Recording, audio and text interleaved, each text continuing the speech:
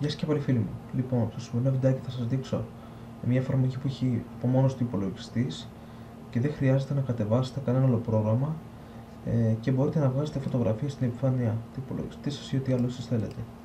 Αυτό το πρόγραμμα ονομάζεται εργαλεία από κομμάτων εργαλεία από κομμάτων ή Snipping Sniping Tool ή θα γράφετε, άμα έχετε αγγλικά Windows θα γράφετε έτσι έτσι και υπάρχει επίσης και μέσα στα βοηθήματα. Τα προγράμματα βοηθήματα είναι εδώ μέσα.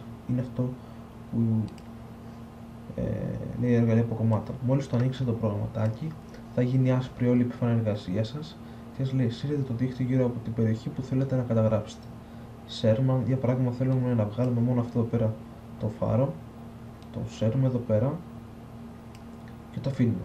Βλέπετε ότι έχουμε πάρει μόνο αυτό το κομμάτι. Αυτό που έχουμε να κάνουμε είναι να πατήσουμε εδώ πέρα που λέει αποθήκευση από και να επιλέξουμε την επιφάνεια εργασίας ή όπου αλλού θέλουμε εμείς. Πατάμε αποθήκευση, το κλείνουμε αυτό και πλέον υπάρχει μόνο ο φάρο μας.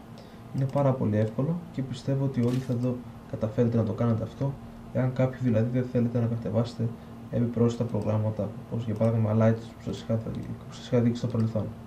Λοιπόν, αυτά φίλοι μου, τα λέμε στο βίντεο.